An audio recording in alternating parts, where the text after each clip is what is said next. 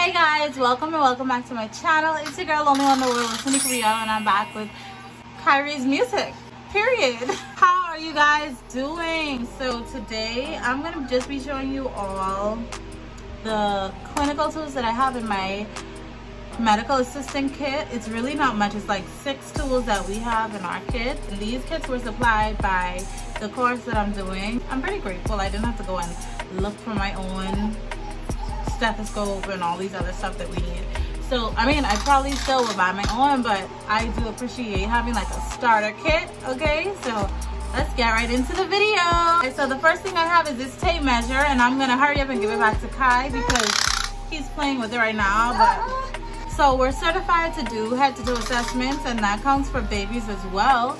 So we check their head circumference, we check their height and their um, shoulder length as well, yeah. The first thing that I don't have in my clinical kit is this. I just keep it around my neck. It's just something you'll always need, especially when you're doing vital. It's a pulse oximeter and you just press the button and you stick your finger in. It lets you know your oxygen saturation and your arterial blood and then it also lets you know your heart rate and mine is kind of weird. One minute it's high, the next minute it's low. Like if I'm laying down, it's like dead low, like 40 something. And I don't know if this thing thinks I'm an athlete, but it's weird. But I might just be a Brady cardiac. How do you say it? I might just have I might just have bradycardia. Next thing that I have in my kit, and it's just so crammed up in this kit to be honest. The next thing I have is my stethoscope. It's just a simple black stethoscope. Um, yeah. And then you just turn it around and you'll hear from the other side. Of course, if you're doing like a manual blood pressure, you'd use your stethoscope. If you want to check the heart, if you want to check a patient's heartbeat, heart sounds, go right ahead. Have the equipment, why not use it? Um, next thing I have is my blood pressure cup. And y'all, I have a funny story on this, right? The first time that I used this, and I only used this once, I was rotating in physical therapy and the lady, she was like, no, my pressure can't be this high. My pressure can't be this high. Do it manually. So I was like, oh gosh. And y'all, this is the first time I'm doing this since class. I don't know why, but I should have been practicing.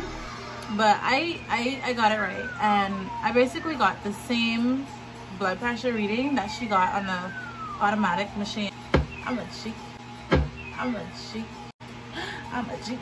Definitely gonna keep practicing um, manual blood pressure because people do ask like when they doubting their pressure being too high or too low, they'd be like, I need you to do this manually like now. Next thing I have is these scissors.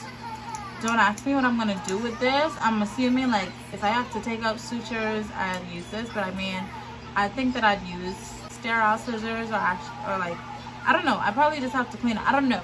Y'all, um, thing I have is a thermometer and you just press it, comes on. Y'all, when Kai was sick, he had like a temperature. So every couple hours, he'd take this out of my kit and he'd bring it to me so I could check his temperature. it was so funny. And last but not least is just a pen light. Of course, like I said earlier, we're certified to do head-to-toe assessments, so check their eyes, make sure it's dilating, and pupil is reacting to light, it's accommodating. So yeah, pretty much that's all I have in my kit. You'd want to have a pen, want to have a little notepad. I always have my little green notepad with me. I don't know where I have it now, but you know, if you hear some new words or phrases in the hospital, you just want to write them down and go over them if you don't know what they are. Because like when I was doing my internship, they were intubating the patient and that was my first time ever seeing someone being intubated. So I was nervous and I was like what is going on? What's going on? So I was writing down everything and when I went home I looked it up and I was like okay this is exactly what they're doing and how they're doing it thank you all for watching this video. Please remember to subscribe and share my channel. I thank you all so much and I will see y'all in my next video. Bye